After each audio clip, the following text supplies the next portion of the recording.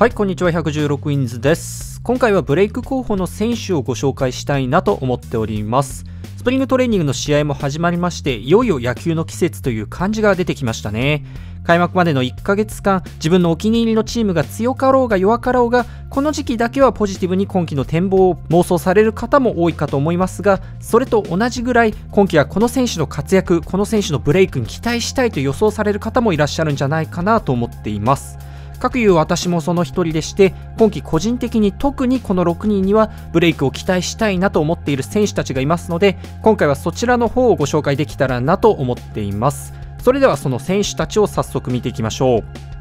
はいまず1人目はブルージェイズのウラジミール・ゲレーロ・ジュニア。ゲレーロ・ジュニアといえば2年前は球界ナンバーワンのプロスペクトとして非常に高い期待を寄せられていましたよね。しかしデビューしてからの2年間もちろん20歳あるいは21歳の選手としては十分すぎるぐらいやれているとは思いますが当初の期待があまりに高かったこともあり現状はちょっと期待外れな感は否めず昨年は全試合に出場しホームラン9本 OPS は7割9分1厘そしてウィンザーボーリプレイスメントは0.6という成績でした。守備面での貢献があまり期待できない選手ではありますので、バッティングでもう一段上の成績を期待したいところですよね。ただ、ボールを強打するという点においてはすでにスラッガーの片鱗は見せていまして、昨年の平均打球所属92.5マイル、そしてハードヒットレート95マイル以上の打球の割合は50.8%と、いずれも MLB 上位7%に当たる数値を記録しています。どちらの数値も1年目から改善されていますので着実に選手としての成長を遂げていますし2年目にしてこれだけ強い打球を打てるあたりはやはり特別な才能の持ち主なんだなと感じさせます。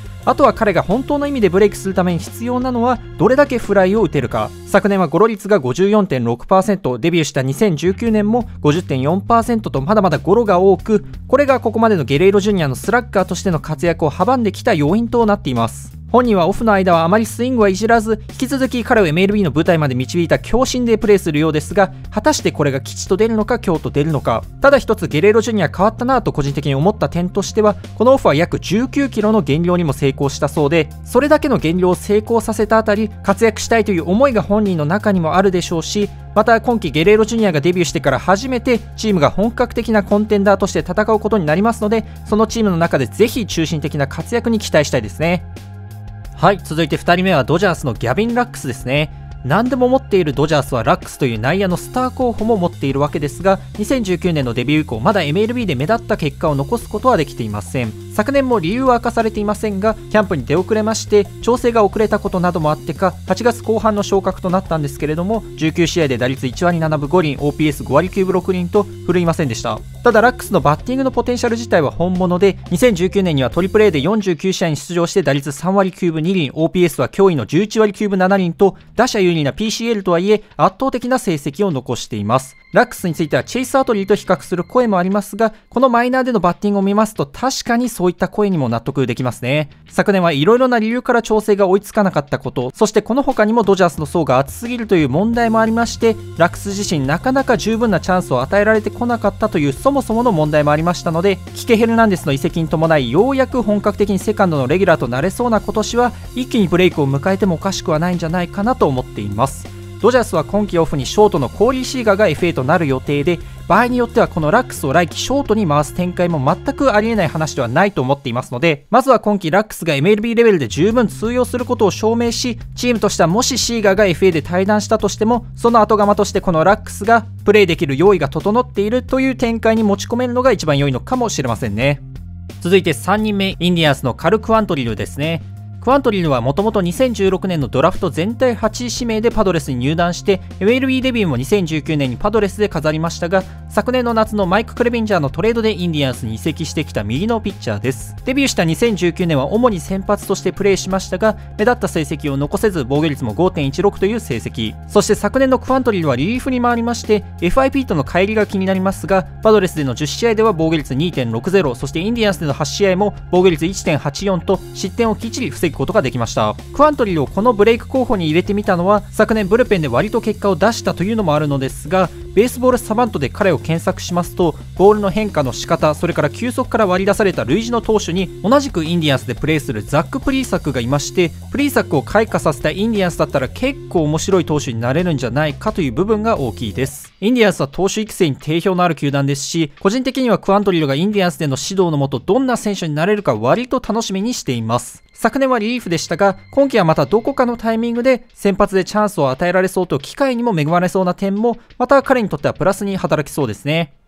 では4人目個人的には昨年初めて見たピッチャーの中でかなり気に入っている選手なのがレッズの TJ アントーンですね。アントンはもともと2014年5巡目指名でレッズに入団した選手なのですがいわゆるトッププロスペクトのような存在ではなく球速も91マイル92マイル前後で、まあ、良くも悪くもまとまったタイプのピッチャーでした。しかしそんなピッチャーが昨年球速が平均で90マイル中盤ぐらいを出せるようになりまして実際昨年の速球系の平均球速は95.6マイルとなかなかのスピードを記録しています。アントンは非常に投球の分析を熱心に行う選手としても知られていてそういった努力が実を結んだ結果なのだとと思いますが結果的に昨年の MLB デビューにもつながり先発とリリーフで13試合に登板し防御率2.8035回3分の1で45奪三振とイニング数以上の奪三振も記録しました。スタットキャスト系の指標におけるパーセンタイルランキングでも軒並み真っ赤 MLB でも上位の数値を記録していまして決して昨年の成功はまぐれのものではないことを裏付けているかと思います。アントーンに関しては与四球率が昨年4.1とフォアボールが少しまだ多くまたレッズの先発ローテーションがグレイ、カスティーヨ、マーリー、マイリーあたりはすでに決まっているでしょうから開幕からローテに入れるかがやや怪しいところがマイナスポイントではありますがただ今季は試合数が一気に増えることもあってかこういったアントーンのように先発とリリーフどちらもこなせる選手は重宝することになると思いますし個人的にはファンタジーベースボールでキープするくらいには今季の活躍を楽しみにしている選手の一人ですね。はい続いて5人目はレンジャーズのニック・ストラック。2019年の7月にレイズからレンジャーズへピート・フェアバンクスとのトレードで移籍したソラックですが、この年の8月後半に MLB デビューを果たし、33試合で打率2割9分3厘、ホームラン5本、そして OPS8 割8分4厘となかなかの成績を残しました。そして飛躍が期待された昨年でしたが、結果は58試合で打率2割6分8厘、OPS6 割7分1厘、ホームランはわずかに2本と期待に応えることができませんでした。ただ、ソラックも最初に紹介したゲレーロジュニアほどではないにせよ、それなりに強い打球を打つことのできる選手で昨年は平均打球初速が約90マイルと MLB の平均を上回る水準を記録していますしそれでいてコンタクト能力にも優れ三振も少ないのでバッティングのセンス自体はなかなか良いものを持っているかと思っています。ソラックは昨年バレ率が4.7%とデビューした2019年が9.2%であったことを考えると急減していましてこれが58試合でわずかにホームラン2本に終わった理由だとも思っていますがただ19年並みにバレルを戻せればフルシーズンで20本ぐらいは期待できそうな選手ですしそれを実現するだけのバッティングセンス自体はこのストラックにあるんじゃないかと思っています。またレンジャーズは再建に突入するということで長年セカンドのレギュラーを務めたルグネット・オーダーの出場機会を減らしこのソラックがセカンドのレギュラーとなる見込みなのでこのチャンスを生かせることができるでしょうか。もっともセカンドソラックの問題点はバッティングよりも守備でして昨年は140イニングで UZR-1.8150 試合換算でマイナス25.1となかなか悲惨な成績を残しています。守備に関する懸念が依然として残りますがただ昨年の反省を生かして今季は今度こそバッティング面で飛躍の1年としてほしいですね。